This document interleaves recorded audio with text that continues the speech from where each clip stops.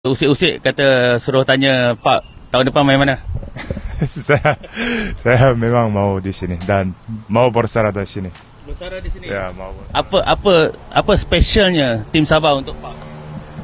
Oh, saya uh, bagi saya uh, tim pertama saya main uh, negara lain dan ya tidak tahu berharga bagi saya tim ini. Ya, memang saya sayang tim ini.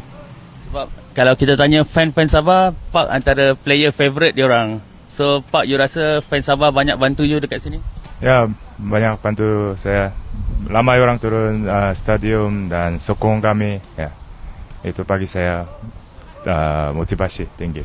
So adakah kalau besok boleh menang dan berjaya ke Asia itu hadiah terbaik Pak untuk penyokong-penyokong Sabah? Ya, hadiah terbaik. Ya. So bagi ucapan sikit kepada fan Sabah. Ya, terima kasih selalu sokong kami dan ya, tahun ini memang kamu orang terbaik ya dalam Malaysia. okay, I love you guys.